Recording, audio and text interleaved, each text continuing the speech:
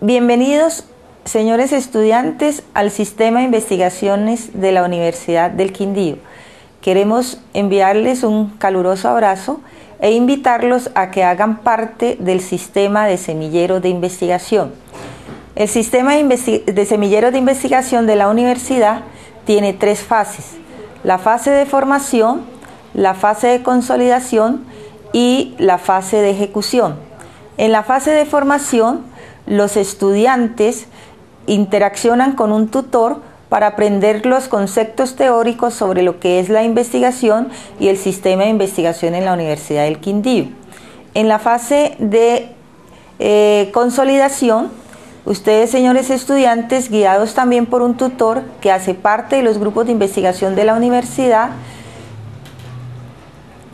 eh, realizan, presentan un proyecto de investigación este proyecto de investigación tiene que cumplir con todas las etapas de autoevaluación, heteroevaluación y evaluación externa y una vez cumplida con estas etapas es aprobado por la Vicerrectoría de Investigaciones y se les financia.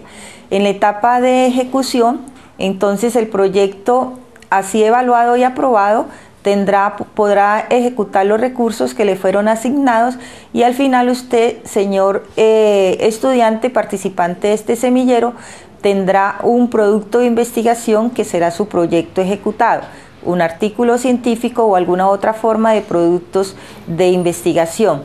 Los beneficios que usted adquiere como estudiante de los semilleros una vez terminadas sus tres semestres de semillero son los siguientes.